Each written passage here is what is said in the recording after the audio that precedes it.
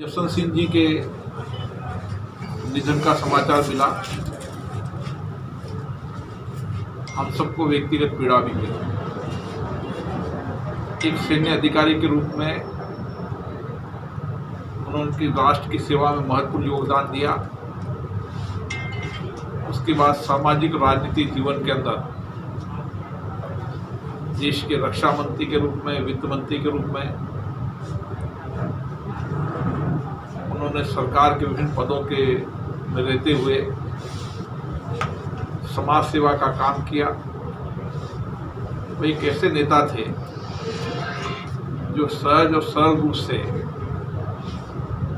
अपनी माटी की, अपने क्षेत्र की वाणी के माध्यम से संपूर्ण देश के अंदर सहज और सरल रूप से उपलब्ध थे।